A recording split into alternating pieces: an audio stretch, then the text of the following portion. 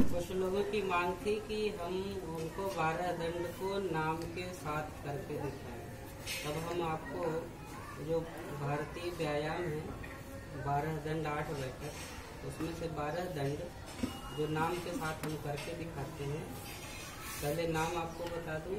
पहला नाम है साधारण दंड, फिर राममूर्ति दंड, वक्ष विकासक, हनुमान दंड वृश्चिक दंड भाग एक वृश्चिक दंड भाग दो पार्श्व दंड पलट दंड शेर दंड चक्र दंड सर्प और मिश्र दंड ये बारह नाम भाई दो दो अभ्यास करके दिखाते हैं आपको।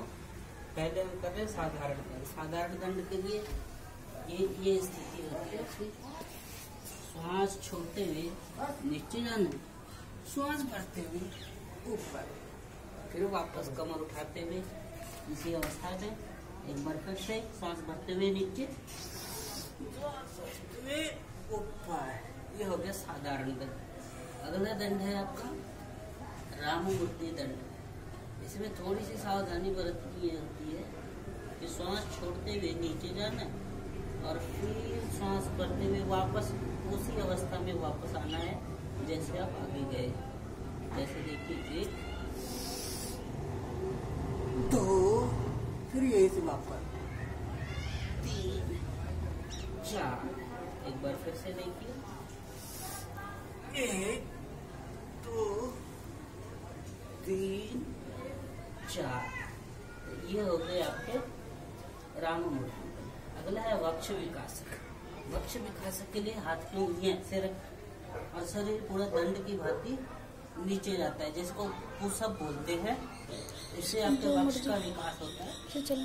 एक दो तीन चार पाँच। ये हो गया आपका वक्ष विकास। अगला है हनुमान दंड। हनुमान दंड के लिए ये पैर यहाँ कान लगाया।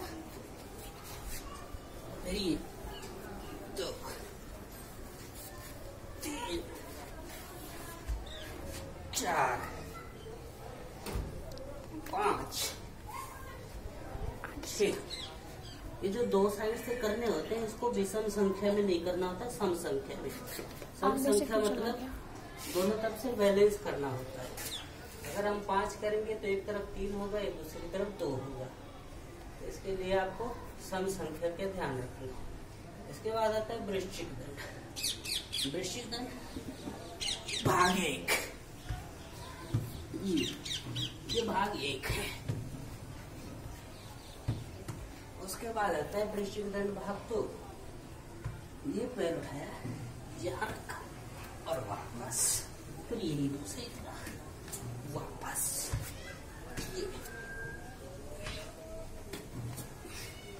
एक वृश्चिक दंड भाग दो। हो गया अब नंबर है पार्श्व दंड का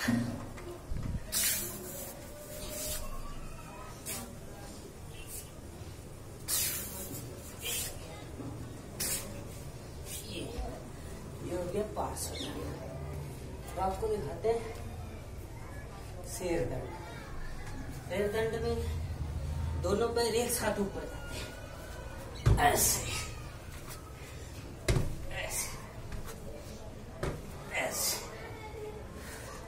ये हो गया शेर दंड उसके बाद आपको दिखाते हैं चक्र दंड चक्र दंड में दोनों हाथ यहाँ रखते एक पैर साइड में इस पैर को उठाया, हाथ उठाते हुए घुमा देना है। ऐसे। फिर यही क्रिया दूसरी साइड से। ये ऐसे।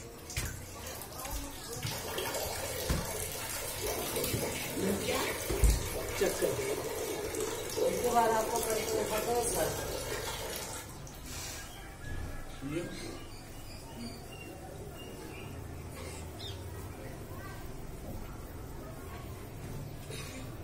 ये हो गया सर्प उसके बाद आपको दिखाते हैं मिश्र दंड ये। इसे भी करते हैं।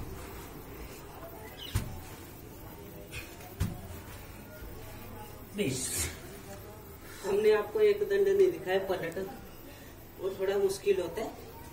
उसको थोड़ा सा प्रैक्टिस करने के बाद आपको दिखाएँगे। बस।